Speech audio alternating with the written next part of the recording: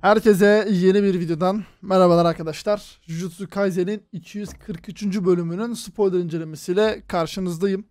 Biliyorsunuz Jujutsu Kaisen Takaba üzerine ve Kenjaku üzerine gidiyordu. Yaklaşık bir 3 veya 4 bölümdür. Komedi, birbirleriyle vs'ler falan atıyorlardı böyle yapmış oldukları hayal dünyasıyla. Hatta geçtiğimiz hafta bayağı bir saçmalık derecesine ulaşmıştı. Kenjaku doktor oluyordu, hemşire oluyordu, jet sürüyorlardı, Fanta'yı birbirlerine atıyorlardı. Değişik bir e, komedi varyasyonu izlemiştik. Açıkçası benim çok güldüğüm böyle kahkahalar attığım bölüm falan olmadı. Ufak bir e, yüzümde tebessüm oluşturdu sadece. Onun dışında çok ekstrem bir durum yok biliyorsunuz zaten. Bu bölümde yine bu şekilde devam ediyor ama artık bu bölümle beraber Takaba ve Kenjaku'nun arasındaki o komiklik bitmiş olacak. Yani bu komik sekansı bitmiş oluyor. Şükürler olsun ki ve bölümün sonu çok vurucu arkadaşlar. Ben laf uzatmadan incelemeye geçmeden önce de kanalıma abone değilseniz abone olmayı, videoyu beğenmeyi ve bölüm hakkındaki düşüncelerinizi yorumlara yazmanızı istiyorum arkadaşlar. Açıklama Discord kanalımız var. Discord kanalımıza da gelerek şu anki spoilerlara ulaşabilirsiniz. Türkçesi ne alemde şu an bilmiyorum. Sadece spoilerları inceleyip ben bölümü geçiyorum. Zaten spoiler öyle bir geliyor ki tüm bölümü yayınlıyorlar. O yüzden okuma ihtiyacı duymuyorum spoiler'ı inceledikten sonra. Artık ben laf uzatmadan bölüme geçeyim. Evet 243. bölüm Kenjoku ve Takaba'nın büyük bir sahnede hani burada artık e, komedi tarzında bir program yapmalarıyla beraber başlıyor. Geçen bölümde zaten buraya giriş yapmışlardı. Zaten girişte de bu şekilde e, seyircileri konuşma yaparak selamlamışlar arkadaşlar. Sonrasında burada Kenjoku'nun Kenjaku'nun babası yok mu? Annesi her zaman meşgul olduğu için çok yalnızdı ve sonunda ilgi arayan birisi mi oldu diye bir soru soruluyor burada. Sonrasında Kenjaku artı 18 e, şurada hani 18 yaş üzeri bir e, espri yaptığını görüyoruz burada. Tabii ki hani çok anlayabildiğim bir şey değil. Sadece e, spoiler sağlayıcısının yazdığında artı 18 bir şakadan bahsediyor. Detayları tam bilmiyorum. Muhtemelen o da anlayamadı. Sonra devamında ise anneanne şakaları oluyormuş. Hani anneannedir, babaannedir e, o tarz şakalarla devam ediyormuş. Yine burada 4 panel var arkadaşlar. Şöyle ekranlara getirebilirsem. Evet gördünüz. Burada 4 panelin yanında uzun uzun bu ne konuştuklarına dair metinler vardı. Yani yine komik şakalar, komiklikler devam ediyordu ama ben bunları çevirecek vaktim olmadığı için direkt fotoğraflarını koyup geçiyorum arkadaşlar. Çünkü çok çok uzun ve vaktim yok o kadar. O yüzden bölüm çıktığında buraları okumak istiyorum. Çünkü bölüm okumak, buradaki olayları anlamak adına biraz farz oldu gibi bir şey oldu. Sonrasında arkadaşlar bu komiklik sekansı bitiyor demiştim ya ve gerçekten bitiyor. Atmosfer bir anda değişiyormuş, ciddi bir hal alıyormuş. Takaba ve Kenjoku sessizliğe bürünmüş. Kenjoku hayırdır ne oldu diyor yani bayağıdır gülüp eğleniyorlar. Acayip keyif alıyorlar bir anda. Sonra bakıyorlar ki Takaba'nın suratında bir ciddiyetlik var. Bitmek üzere değil mi diyor. Takaba bu sahnenin hayalindeki sahne olduğunu söylüyormuş. Yani şuna baktınız baksanıza yani fanları bile var yani sırf Takaba ile ilgili bayağı bir e, hayal ettiği noktaya gelmiş kendi hayal dünyasında. Bu an bitmesini hiç istemiyormuş ve inanılmaz bir duygusallık içerisindeymiş. Zaten şurada görüyorsunuz bayağı bir ağlama durumuna gelmiş yine burnuna bir peçete sokmuş ağlamayayım diye. Sonrasında Takaba bu anın bitmemesini istiyor ve sayıklayarak ağlamaya başlıyormuş. Genjoku da onu teselli ediyor. Benim burada şaşırdığım nokta Genjoku ile bunlar düşmandı. İki şaka yaptılar birbirlerine dost oldular anasını satayım. Bakalım daha neler göreceğiz. Belki ilerleyen bölümlerde daha güzel şeyler görebiliriz eğer bu ikisiyle ilgili. Ve sonrasında içerilerinde bulunduğu illüzyon sona eriyormuş ve Takaba Kenjaku'ya beyaz kaftan için teşekkür ediyormuş. Şöyle görmüş olduğunuz gibi hani ölüme hazır bir karakter gibi bekliyor. Takaba muhtemelen ölecek e, düşer düşüncesi içerisinde e, kendisini böyle yatırmış durumda. Kenjaku da başında teşekkür yani Takaba'nın etmiş olduğu teşekkürü kabul ediyor. Takaba bir kez daha teşekkür ediyormuş. E sonrasında Kenjuku sırtarak Takaba'ya çok komik olduğunu söyleyerek e, durumu şu şekilde şu panelde görüyoruz. Ve bölümün en can alıcı noktası da şu arkadaşlar.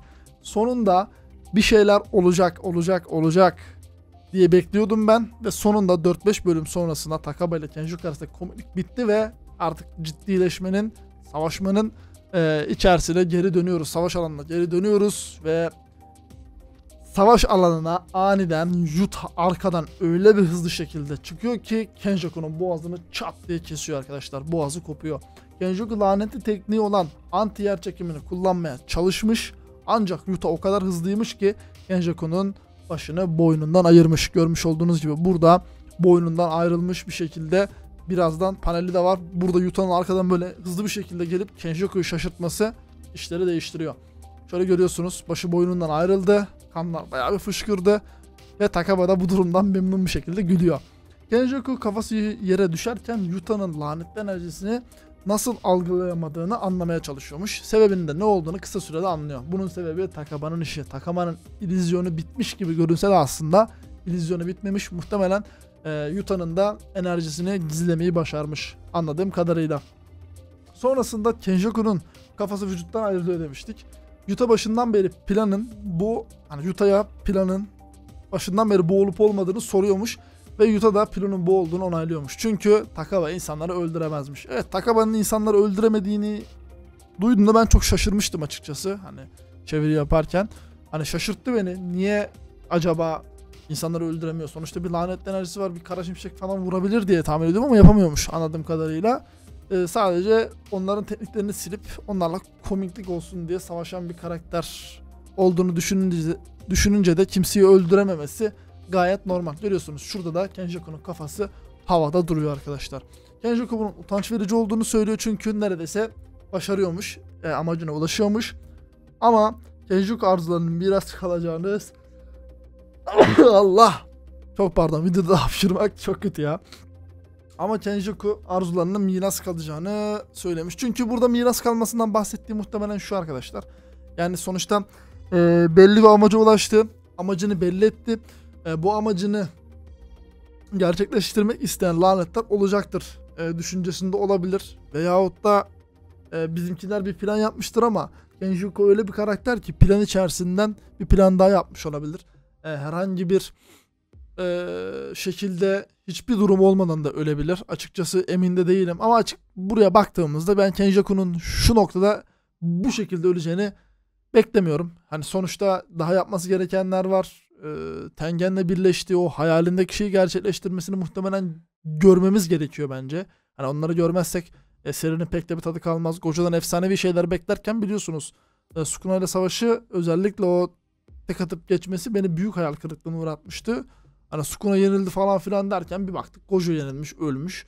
Hani o yüzden Kenjaku'nun da bu şekilde basit bir noktada hiçbir savaş içerisine adam akıllı girmeden ölmesi ben açıkçası üzer. Ben sonuçta Kenjaku'nun ölürken e, pişmanlık duyup böyle yalvarmasını falan istiyorum. Sonuçta kötü bir karakter birçok karakterin ölümüne sebebiyet verdi. Ortalığı karıştırdı.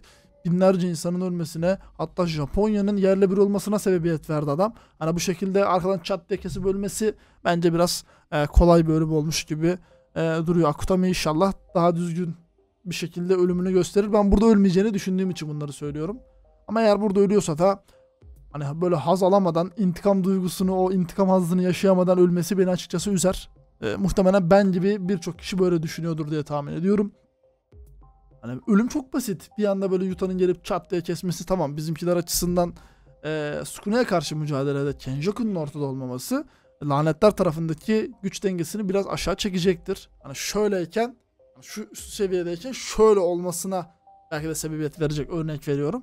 Hani o yüzden Kenjoku'nun olmaması belki de e, bizim için daha iyi olabilir. Daha iyi olabilir geçtim. Çok iyi olacaktır. Sadece Sukune'ye fokuslanabileceğimiz anlamına geliyor. Zaten buraya gelmeden önce de Takaba'yı buraya göndermeden önce de e, Sukuna ile mücadele ederken Kenjoku'nun ortaya çıkmasını engellemek için e, burada Takaba'yı gönderip onunla oyalamıştık ve Yuta gelip kesmiş.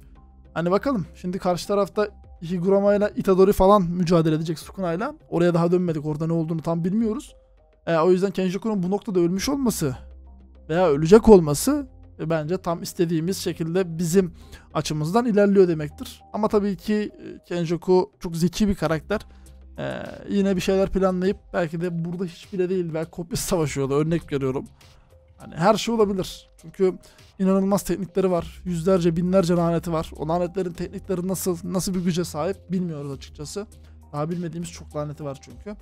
Yani o yüzden özel teknik bir özel seviye lanetiyle beraber yine ortamı manipüle edip bir kendi illüzyon yaratmış da olabilir. Sonuçta Takaba'nın gücünü anlayıp ona göre mücadele etmeyi kısa bir süre içerisinde öğrenmişti. Ama Yuta'nın gelip bu şekilde kafa kesmesi beni çok çok şaşırttı arkadaşlar. Hadi bakalım artık bir sonraki bölümde e, hemen düzelip geri devam edecek mi bilmiyorum. Ama şimdi baktığımızda Kenjaku'nun e, ben öleceğini açıkçası çok düşünemiyorum. Neden derseniz sonuçta Geto'nun bedenine sahip. O yüzden o kafa oradan çıkıp başka bir bedene atlayabilir mi? Acaba bir böyle bir yaratık gibi Baldur's Gate oynayanlar bilir belki. E, Baldur's Gate'de biliyorsunuz böyle zihin yüzenlerin beyni vardı. Beyninin böyle ayakları falan vardı. Baldur's Gate 3 oynayanlar ne demek istediğimi anlayacaktır. Acaba Kenjoku öyle e, vücudu terk ettikten sonra o beyin olarak belli bir süre daha dışarıda kalabiliyor mu? Hani öyle bir şey kalıyorsa şu an ölmemiştir. E, muhtemelen farklı bir yere e, devam edecektir. Hatta e, şey vardı hatırlarsanız Demon Slayer'da İblis Keser'de e, Muzan'ın bir parçası bile kalsa yani ufacık bir parçası bile kalsa kendisini oradan yenileyip tekrardan Muzan formuna kendi formunu alabiliyordu. Eğer Kenjoku da bedeninden ilişkisi kesilse dahi o kafadaki bütünlüğü, beyin bütünlüğünü koruduğu sürece ölmeyebilir. O yüzden e, Kenjoku'nun öyle bir durum olabilir. Kenjoku ile ilgili bir şeyler hiç aklımda kalmamış. Hani nasıl bir gücü vardı? E, eğer dediğim gibi mi yoksa değil, değil miydi tam hatırlamıyorum şu an. O yüzden e, şu an tahmin üzerine bir yorum yapıyorum. Eğer bu konuda benim bir hatam varsa düzeltirseniz sevinirim. Hani sonuçta o kadar e, bölüm geçti ki aradan tekrar okumak da istemiyorum ben açıkçası arka taraf hani eski bölümleri. Hani Shibuya'ya kadar okunur ama Shibuya'dan sonra biliyorsunuz çok böyle salaş giden bir seriydi. Yani aradaki olaylara da çok fazla dikkat ederek okumadım. Okumak da istemedim. Çünkü çok sıkmıştı beni. Gerçekten Shibuya arkından sonra e, şu Gojo ve Sukuna savaşına kadar ortam inanılmaz sıkıcıydı. Yani o yüzden ben çok eğlenmediğim için okumak istemiyorum tekrardan. Kaçırdığım detaylar illaki var. O detaylar varsa da bu yorumumun içerisinde, bu incelememin içerisinde yorumlara, yorumlara yazarsanız beni etiketleyerek çok çok sevinirim. Evet benim söyleyeceklerim bu kadar arkadaşlar. Önümüzdeki hafta Kenjaku yaşar mı? Ölür mü? Yuta'nın bir mücadele içerisine girip alansal genişletmesini falan görür müyüz açıkçası? Emin değilim ama öyle bir şey olursa da mükemmel olur. Ben Kenjaku'nun dediğim gibi bu kadar kolay öleceğini düşünmüyorum. Onun ağlaya ağlaya yaptıklarının cezasını çekmesini istiyorum ben biraz. İntikamı böyle basit bir şekilde alınmaması lazım. Diyelim ve bölümü noktalayalım. Evet arkadaşlar izlediğiniz için teşekkür ediyorum. Abone olmayı lütfen unutmayın. Like atarsanız da çok çok mutlu olurum. Destek olmak isterseniz de katıl butonu üzerinden bana maddi olarak destek olabilirsiniz. Şimdilik benden bu kadar. Bir sonraki videoda görüşmek üzere. Hoşçakalın. Bay bay.